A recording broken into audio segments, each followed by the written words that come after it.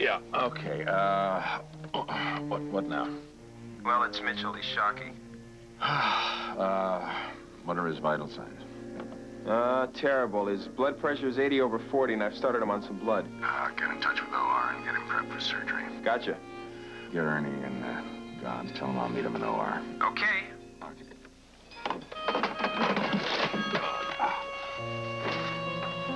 Ah, good, you're here. Yeah. Mind telling me why?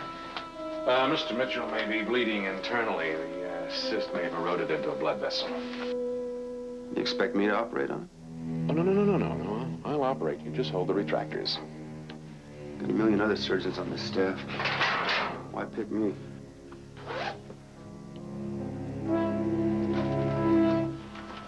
What, you gonna chicken out again? What are you talking about? Well, your color's gone. Your skin is clammy. I'm okay. Is this what happened with uh, Mrs. Bergkamp? I'm okay. Just give me a minute. No time, pal. I got a man dying in there. Maybe that's what I'm afraid of. So what? Show me a good surgeon that isn't scared.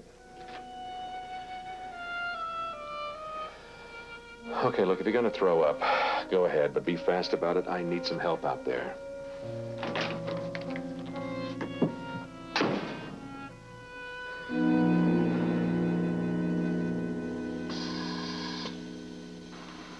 More retraction.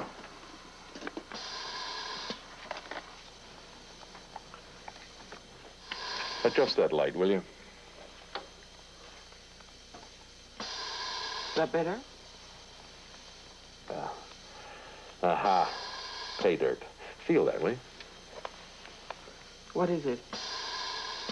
Yeah, feels like one hell of a cyst. Okay, we'll drain the cyst into the stomach. Drain it? Are you kidding? We have to resect the distal pancreas and remove the cyst. It's too risky. I don't want to keep him on the table that long. That's crazy. We have to resect it. We'll drain it, Ernie.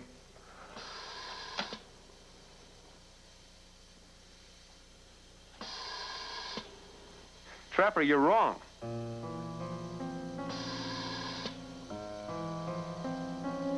You're absolutely sure that I'm wrong? Damn right I am. Took you long enough to convince me. I don't believe it. He was testing me. Okay, you passed the test. Man, you've got a weird sense of humor. And a lousy sense of timing. Funny, I thought my timing was pretty good.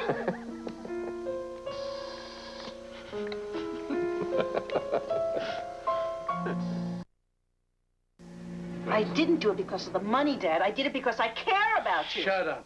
I'm tired of hearing about it. If I hear one more word about malpractice, I'll brain you. But it wasn't my idea to do the thing about malpractice. It was your idea. You were the one who wasn't paying you. Morning, Mr. Mitchell. How are you feeling? Terrific. I'm getting stronger every day. Hey, listen, uh, I have an apology for you two guys. You did that yesterday. And the day before? Well, then it's about time my daughter started apologizing. You realize the problems you almost caused these guys? I was just doing it to protect you, Dad. Protect me. I almost wound up in the grave. I don't know why you're blaming this on me. I mean, none of this is my fault. None of it. You were the one who wanted a to do the second. malpractice. I was there You were the dying of... Oh, Phil's relief. Oh, it's true. It's true. Oh, Yeah, that's what I heard. Ah. Oh, careful now. Easy. Take it easy. Well, uh, goodbye, Mr. Shoup. Bye. Goodbye, Stanley. Thank you for everything. Mr. Stevens, anytime. Yes, sir. You take care now. Okay, bye-bye. Bye, Stanley. Bye. I wonder what kind of report he's going to give us. An excellent one. Take my word, I've seen to that. What are you two hanging around for? She'll be here in 10 minutes. Who? The medical board investigator. She? Well, they decided not to send an undercover investigator after all, so uh, let's get cracking. Stanley. How much did that con man take you for? Take me for... No big thing.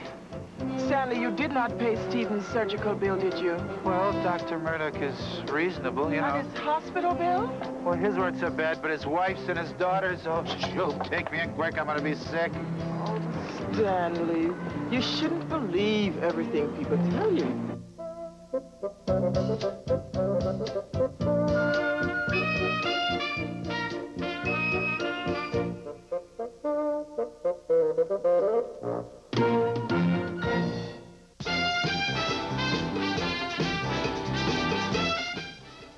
It's a whole new schedule on FX. Picket Fences has now moved to 11 a.m. 10 Central, following Dynasty at 10 a.m. And don't forget to tune in to FX tonight for the X-Files at 8 p.m. 7 Central, followed by NYPD Blue at 9, 8 Central. It's the best primetime on cable, and it's only on FX.